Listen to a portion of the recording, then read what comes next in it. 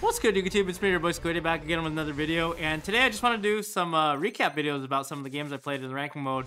Definitely going to start doing some more of these. So um, I'm playing Sky Striker off the bat. My opponent makes me go first, which makes me assume that it's a mirror match, uh, which it does turn out to be. I go ahead and activate Pot of Desires here just because I already have the Ray. And also I want more information. So I'm not going to be able to banish three Rays.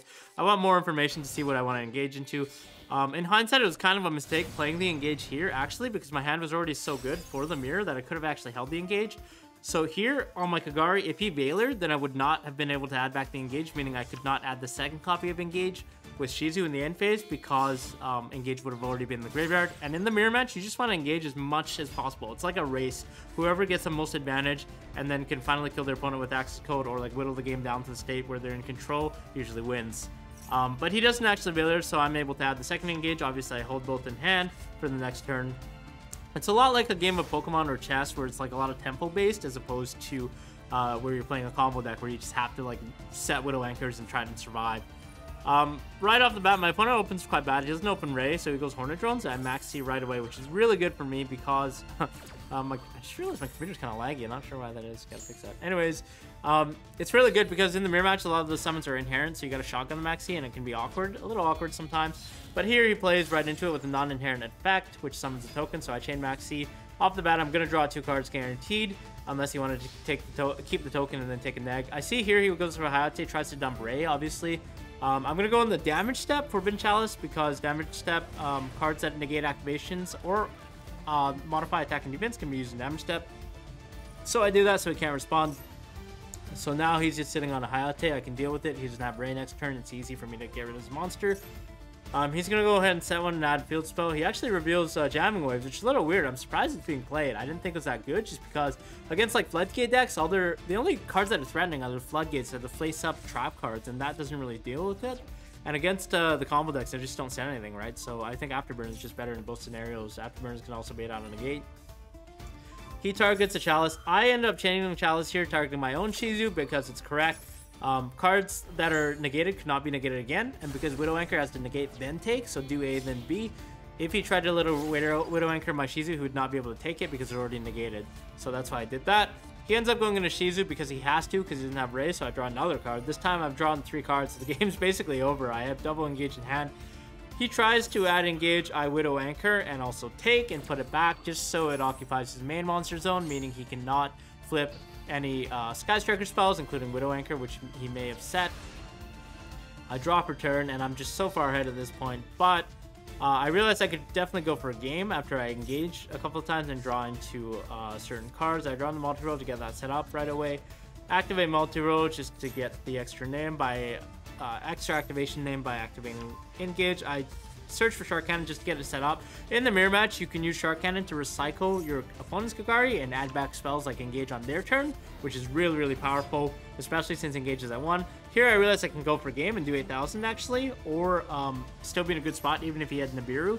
But he max sees, so I end up just using Multi-Role to send my effect veiler to the graveyard so he doesn't draw any cards. To clear my main monster zone, I just attack, and I set my cards in path without special summoning, so he does not draw. Uh, in phase, I use Multi-Role to set the Widow Anchor. My opponent's just super behind here, but in the mirror match, you can actually come back, even if you're down like five cards. If you happen to draw engage and engage in another engage, all of a sudden that's a plus like four cards, right? So it is a little dicey. You have to be, you, you can't get ahead of yourself. You have to be, make sure that you're um, very level-headed and think about all the options and possibilities. Here is pretty good for my opponent. He uses uh, the airspace and then chains the Shark Cannon to special summon a Ray, so now he has a monster. Obviously, I can't interact with that, so all of that goes through. And he actually does reveal an engage here. So this is what I mean. If he has an engage, all of a sudden he can engage again. And he could actually be in this game. He reveals two engages, which is funny. So I know he only has one now. He adds the engage. Um, and then off the bat, he's going to link up so he can play the engage. Obviously, he's going to play it into the non-imperm zone to add a certain card. He ends up adding Afterburner here, which I think is not a great play. It's quite a misplay because in the mirror match, you just want to gain advantage as opposed to taking away your opponent's advantage. You just want to win the race. Him taking away cards from me, I'm already so far ahead that it doesn't even matter. It's basically him just losing cards. He ends up just popping uh, my monster and my set Imperm, and then tries to call by the grave on Ray, which I guess, like, I mean, I guess. I don't think it's ideal. Um, and Ray is also negated on his end too, which comes back to hurt him, especially on the next turn because his Ray would not be in effect, meaning I could just swing over his monsters freely without being scared of Ray coming back and him adding back engage with Kagari and so on and so forth. He does summon Kagari here. Um, I could have actually Widow Anchored the Hayate before, but I didn't want to. Obviously, I wanted to make sure um, and stop the Kagari just in case he did have a Ray or something that he drew for turn and he could have gotten the Kagari and engaged because that's I felt like that was the only way that you could really lose at this point. So I do actually Widow take the Kagari, negate it, and it does actually turn out to be the right play because he does have another Ray that he drew for turn. He ends up linking that one off to Shizu, which is fine. The fact that I took his Kagari is very good because it'll return to his main monster zone in the end phase, so he can't use any effects. I decided to Roze here because I had Nib. I was like, I was going to Nib, and then once Nib actually takes care of his Shizu, I can actually summon back Roze because it's a card effect that sent his extra extra zone monster to the graveyard. But he does chain Max C, so here I decide to actually chain the Nib so he doesn't get the extra draw and nib everything on the board, and then Roze comes out, which is fine and dandy, basically the same thing that I was thinking of. He draws one card for the Roze, and he tries to bring back Ray, but like I mentioned before, called by the Grave negated it, so he cannot do that. He sets an Imperm, which is quite obvious in the multi-rose spot. I decide to set the engage, and here it's just like the game's completely over. Just run off the game. Uh, it doesn't really matter what I do at this point. I can just kill him this turn.